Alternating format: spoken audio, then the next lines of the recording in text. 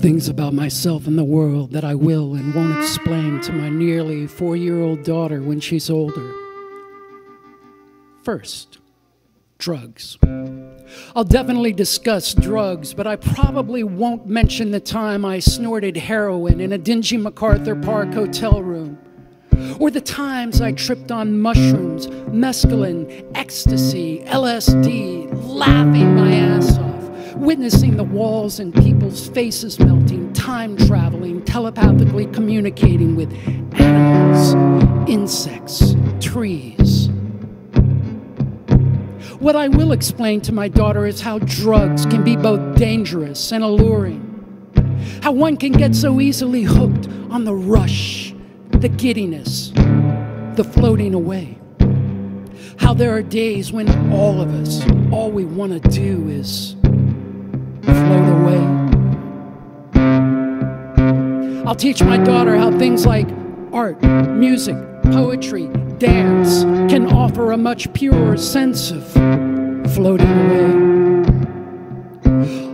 I'll teach my daughter how poetry has so greatly informed my life. That said, I probably won't mention the time I was scheduled to do a featured reading, yet wound up in the hospital that day won't reveal how when I realized I would be in the hospital much longer than I had expected, yanked the IV from my arm when the nurse wasn't around, scrambled into my clothes, seized a cotton ball to clot the unnerving pulse of my blood, spraying the walls, snuck out of the hospital, hailed a taxi, sped off to my future, and rocked it. I'll teach my daughter the importance of empathy, compassion, consideration.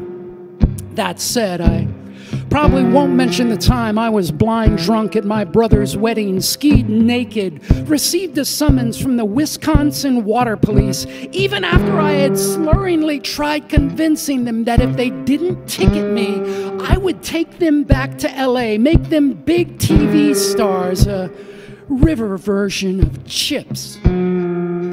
I'll figure out how to explain to my daughter the utter remorse and humiliation I experienced as a teenager upon being nabbed by store security in a Kmart parking lot after I had shoplifted the soundtrack to Saturday Night Fever. I didn't even want the damn cassette. All I'd wanted was for my parents to stop fighting and not get divorced. I'll do my best to prepare my daughter for ages 13 through 19. How those years will be one great big crash and burn of proms, relationships, acne, breakup, and all the rest.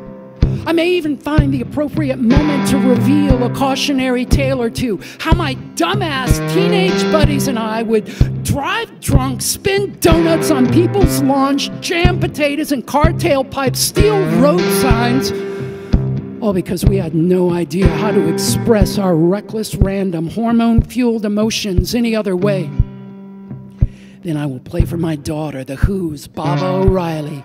We will dance through the house, celebrating and commiserating in the joys and sorrows of those coming years, loudly singing as The Who wails Teenage Wasteland.